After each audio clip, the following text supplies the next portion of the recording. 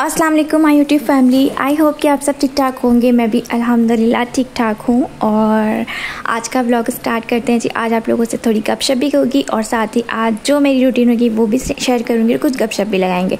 तो जनाब, सबसे पहले आ जाते हैं। कढ़ाई बना रही थी यहाँ पर मैं तो आज मैं आप लोगों से इसकी रेसिपी शेयर कर लेती हूँ। बहुत दफ़ा की हुई है पहले भी, लेकिन दोबारा से कर लेती हूँ। यहाँ पर मेरा वही तरीका, जो लहसुन अदरक का पेस्ट मैंने डाल के जो है इसको भून लिया है चिकन को।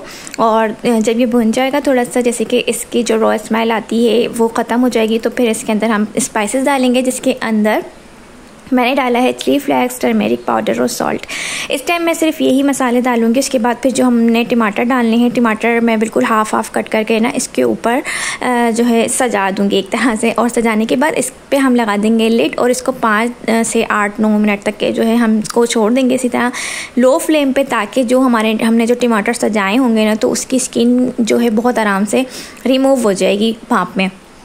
तो देख सकते हैं आप लोग, यहाँ मैं सजा रही हूँ।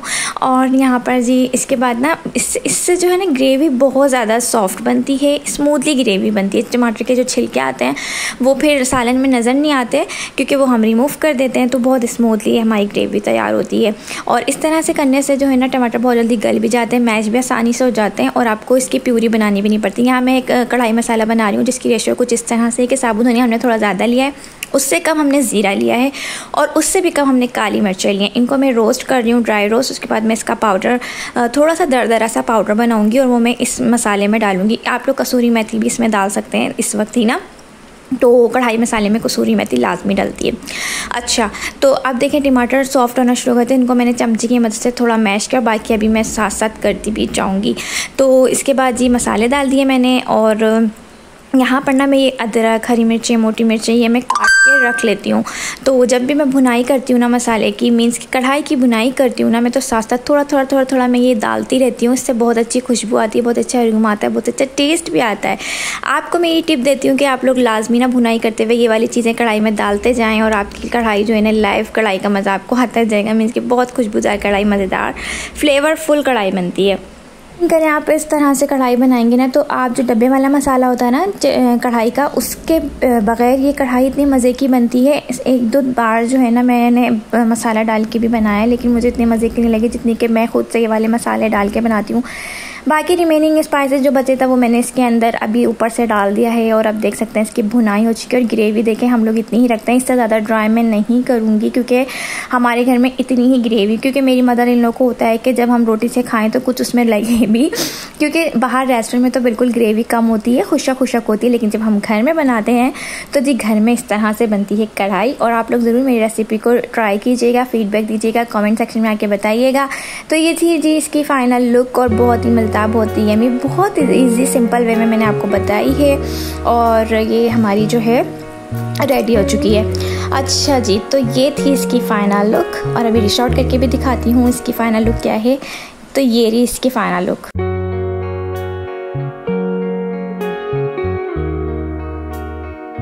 इसके बाद जी यहाँ पर यशफा और किस्वा बैठ के अपना स्क्रीन टाइम एंजॉय कर रही हैं और मैं इनको फोनिक साउंड सिखा रही हूँ जो कि यहाँ पर स्कूल में जो है फोनिक साउंड्स का ही इनको होमवर्क भी मिला हुआ था तो मैंने सोचा कि वीडियो में लगा देती हूँ और ये लोग फोनिक साउंड ही कर रही थी और यशफा को देख कर किस्वा को भी दिल कर रहा था, वो भी पढ़ रही थी और इसी तरह इशारा कर रही थी। फिर इसके बाद मैंने कुछ पोएम्स थी जो कि वो भी मैंने इनको टैब में लगा कर दे दी थी और यशफा और किस्वा और कुछ ऐसी पोएम्स थी जैसे कि वील ऑन द बस, उसके जो एक्ट थे ना, वो किस्वा किस्वा को खुद ही आ रहे थे, पहले से ही आ रहे थे।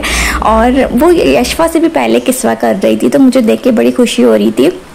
कि जो है, चलो अच्छी बात है टैब देकर किस्वा को पोएम्स और इस तरह के इशारे वगैरह आ गए हैं करने के लिए। तो बस यहाँ पर ये दोनों अपना स्क्रीन टाइम एंजॉय कर रहे थे और यशपा की वजह से मेरी बहुत अच्छी एक आदत डेवलप हुई है, जो कि मैं आज आप लोगों से शेयर कर रही हूँ। वो है जी अर्ली मॉर्निंग उठने की आदत। क्योंकि जब मेरी शादी हुई थी ना तो मेरी आदत इतनी बिगड़ गई थी, सोने जागने की रूटीन ही अजीब गरीब हो गई थी। मीन्स के लेट सोना लेट उठना। तो जब से यशवा की स्कूलिंग स्टार्ट हुई है तो अलहमदिल्ला माशाल्लाह से जो है मेरी रूटीन सेट हो गई है। मैं सुबह जल्दी उठती हूँ रात को जल्दी सोने की कोशिश करती हूँ क्योंकि यशवा को तो जल्दी सुलाना होता ही है। तो जब यशवा सो जाती है तो मैं मैं भी सो जाती हूँ। और किसवा की भी अभी थोड़ी ज़्यादा तभी इस तरह से छोटे बच्चों का तो ऊपर नीचे टाइम होता है।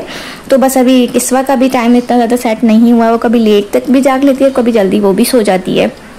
तो बस इसी तरह से जो है आ, मेरी आदत डेवलप हो गई है और सुबह अगर आप जल्दी उठ जाओ ना, बच्चों को स्कूल भेजने के बाद आपके पास इतना सारा टाइम होता है, जब आप अपने घर के काम भी कर सकते हो, अपने काम भी कर सकते हो मीन्स कि अपनी सेल्फ केयर भी कर सकते हैं।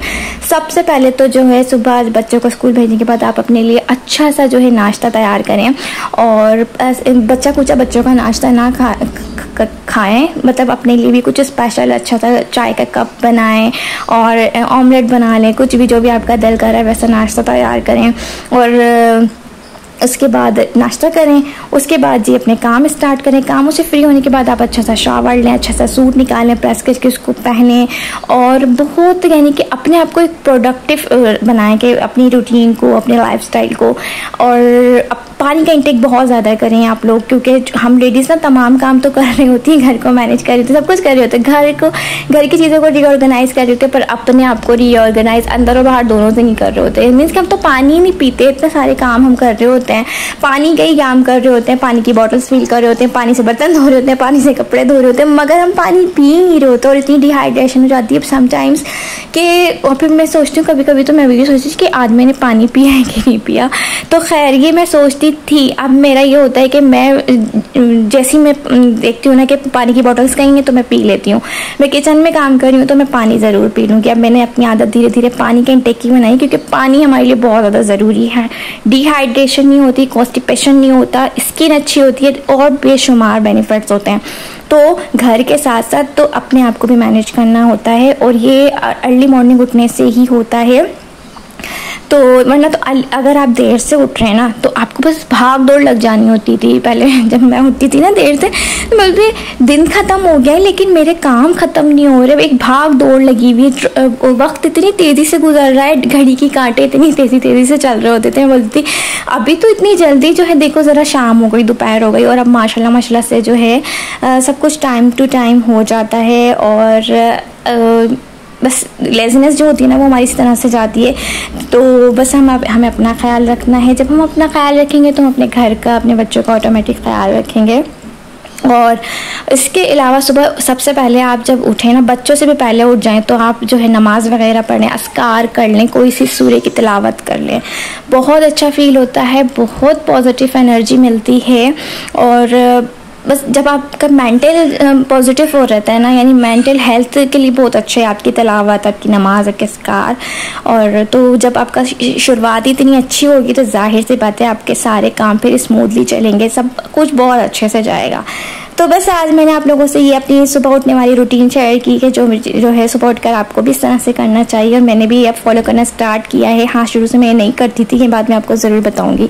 नेक्स्ट वीडियो में मिलते हैं, तब तक के लिए जो अल्लाह हाफिज़ अपने रखे बहुत सारा ख्याल दो में याद रखिएगा। हाफिज़!